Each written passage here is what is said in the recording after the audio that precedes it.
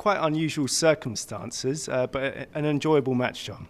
Yeah, definitely. I mean, um, both Henri and I send our best to Per because he's a good guy, and unfortunately, when someone gets injured, um, it's never fun to be able to do that. And hopefully, he can get up for the Davis Cup final because I know he's nominated next week, and it's a big thing for him. So, but no, for Henri and I, it was good to get out and play another match and uh, get through that one and play some better tennis than what we have been. So it's good. We feel as though we're getting confident and better each match we play.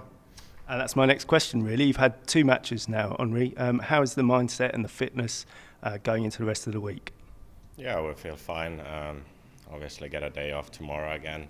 Same rhythm as we've had the previous days. Um, tennis has felt better and better as the week has progressed, so looking forward to Saturday.